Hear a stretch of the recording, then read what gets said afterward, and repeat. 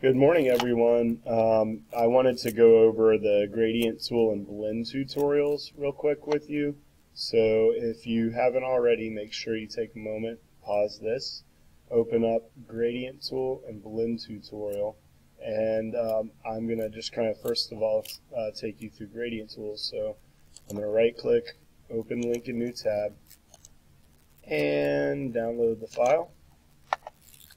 And so once it opens up, give it a second, I will show you basically how the gradient tool works in this program. And then I'll show you how the blend tool, blending tool works. Sorry, this is taking a second. Okay, so here we are. Um, first thing is basically with this template, you have a light outline of what we're going to be creating. So if you go first of all to where it says linear gradient, you need to create a rectangle right over the top of that one. And as you drag it across, if you go up to the fill in the upper left, give me a moment. It's a little bit slow. You'll see linear gradient 1 underneath all the swatches up here. So if you click that, that will give you the built-in gradients. Um, if you move across to the next one, I'm not going to do all three of these. You can do these on your own. But if you click and drag while holding the shift, you can create a perfect circle. And by default, it's going to give you that um, same gradient that you used last time. So if you go into here and you look down in the swatches, you'll see radial gradient 1. And that will give you a radial gradient which works in the middle. Now, most of the time when you're going to be working with gradients, you're going to want to choose your own colors. And you will have this tool along the toolbar, the gradient tool, which if you double click it will activate the uh, gradient panel over here, which you can see there's linear and gradient there, or li linear and radial there. And there's also a slider here where you can choose your own colors. So that's what we're going to do with this next one. We're going to make a custom gradient. So I'm grabbing a rectangle, and I'm going to drag it across. And we want it to be a, regular, a linear gradient. I'll move this down so we can see the colors here. And if you click on the uh, first little stop here and go down to swatches, we have a red, I, I believe it's a red to yellow gradient. So we start with red. And then go to the other stop here and double click it. Now, notice there's a color and there's a swatches option here. So if you choose color, you're going to get basically different uh, brightness and darkness of black to start uh, if that's what color you had before. But if you click on yellow and you go back to color, you can see you have the options for CMYK. And also um, uh, go into the opacity and some other options on there as well. So if I pull this back up, this is now, whoops, this is now our gradient here. And then we have different gradient angles. So I'm going to draw a rectangle real quick and show you how you can do one at an angle. So we need to activate the gradient tool, and you'll notice there's this line that appears. And if you drag it from a corner, you'll see a little um, circular arrow appear. And you can still edit the stops. So I know that I'm going from like a, I believe it's like a dark purple to like a lighter pinkish color on this one. And um, basically, I believe that's how it was. Oh, it goes the opposite way. So if I do this, I can actually go back in. As long as I go back and activate that gradient tool, I can rotate this all the way around, and I can drag it over like that. And when you've created your gradient, um, there's three more, of course, that you're going to do. Um, try rotating that bar different ways. Um, but you can always go back and then change it as long as you have not done what's called expanding appearance. And we'll talk about that at a later point. Um, the next one, you're going to need to create this shape. And one way to do that is to use the pen tool. You can also uh, use the paintbrush tool. So if I just trace around this,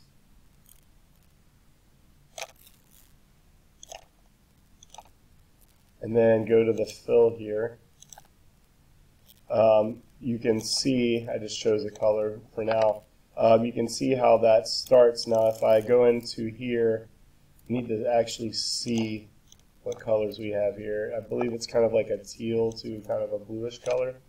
So if I do the gradient tool, and this is a linear, so I'm going to go back over here, switch it to linear, and rotate it a little bit.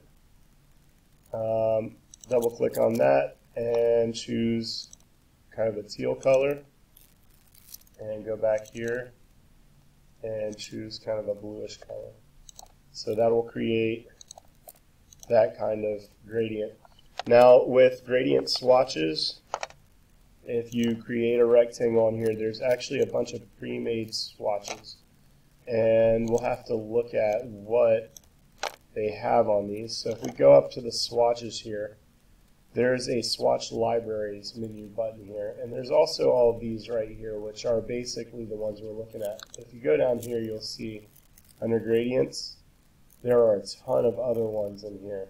So like for instance, if I go to pastels, it's going to add pastels to my um, my list here.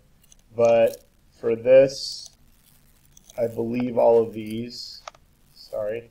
I believe all of these are all up here. So I know this one's like a yellow, uh, it's a purple to kind of pinkish thing, and I believe it's, I believe it might be this. It might be the blue, I guess, yellow to blue to the purple. Yeah, and again, this is a linear gradient. Um, and the way, the direction it's in, it's automatically going to go to what you had before, but I'm going to bring it down so it goes from left to right. So that's our first one. And the other ones, like I said, you can figure out on your own. All right, so I'm going to show you something with color here that happens in Illustrator. It doesn't happen in Photoshop. Illustrator is very precise about color, and not all black is created equal. And what I mean by that is when you choose black and you have a certain color selected, it's going to give you a very dark version of that color. So if I go in and do a, I'll start off with a radial gradient and go into my gradient tool now. Click on the middle. I know I want blue, so I'm going to choose blue. But watch what happens when I do that. You get this really murky color um, between blue and black. And so what you have to do in order to give it, make it fade more blue to black instead of lose its saturation as it turns to black, is double click on the second stop and go to the original color you had, which I believe mine was this, and then go up to here and K, which stands for black and CMYK. You drag that all the way over. Now you're going to get more of a gradual um, switch from blue to black instead of one in which the saturation decreases. All right, this next part's a little tricky. And so what you have to do here is use the text tool to start. You don't have to use that same font. Um, you can type in your name or whatever you want. I'm just going to type, I'll just leave it as Lorem Ipsum. And I'm going to change it to something bold. You're going to want a fat font for this. So find a bold, fat font and I'll use this one, Bernard. If you want a really good fat font, you can use Bernard and just pull that across. And here's the thing, you try to use a gradient on this, and there's not much that's going to happen because it's still a text object. So what we have to do is, it's basically Illustrator's version of rasterizing it, except instead of rasterizing it, we're turning it into a path. We're turning it into shapes. So to do that, if you right click on your text and go to create outlines, what that does is it preserves the shapes here, expands them into, or the letters into shapes. So now you could actually edit the the letters. You could make each letter do something different. But for our cases, we want to select the whole thing and do a gradient over the top. And what you'll see, if you just start clicking on each of these letters, is it's going to do the gradient in each one. And what we want to do is actually have the whole thing with one big gradient. So if you drag it across, if you, sorry, if you select everything first, and then, ah, hold up.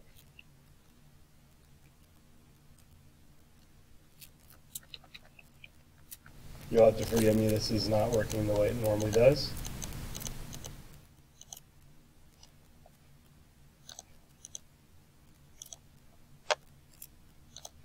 Try this again. I want the regular select tool.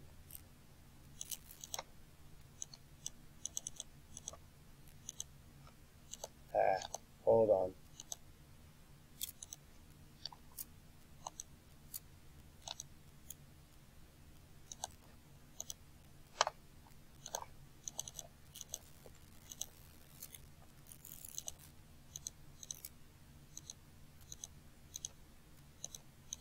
And what you're going to want to do, I believe, if you group these, or ungroup them maybe, hold on, see if this does it. Yeah, if you ungroup them, it'll allow you to do a um, gradient across all of them.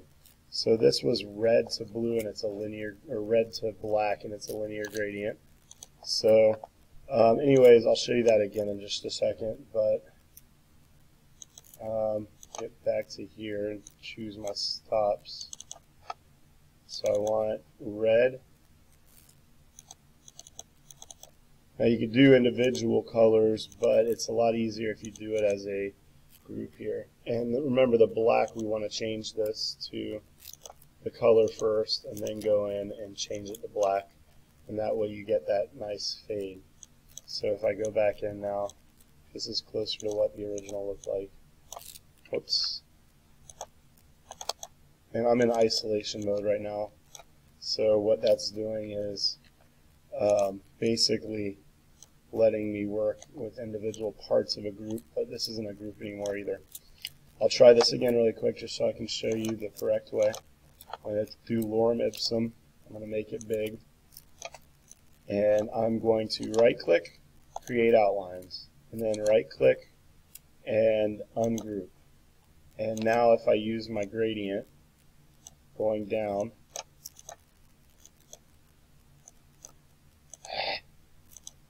Hold up.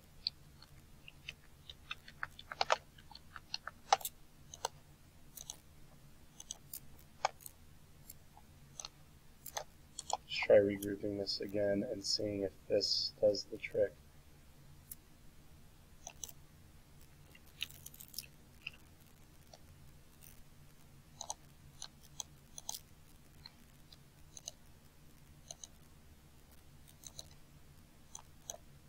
There you go. You might have to fiddle around with it for a second. It gets a little bit testy, but um, yeah. Um, so I'm going to go ahead and do this again. Straw gradient.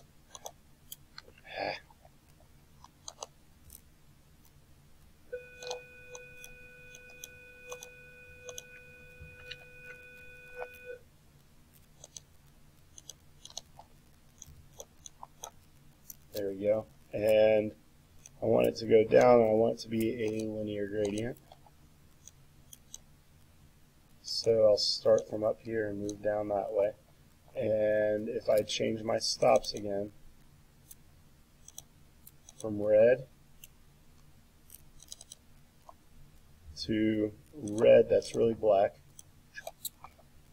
there we go. You might have to fiddle with it, and you know that's something with this gradient tool when you're working with letters. It gets a little bit tricky, but if you do kind of what I did and uh, click first, try one of the swatches, and then use the gradient to draw it across the whole thing, then you should be able to switch it on there. For this last part over here, um, I want you to try to recreate this um, penguin using the uh, shape tools. You'll need to use the selection tool, the direct select to smush things out a little bit in certain places, where you grab the points and you can flatten it out, and then the gradients over the top of that. And that's this first part of the lesson.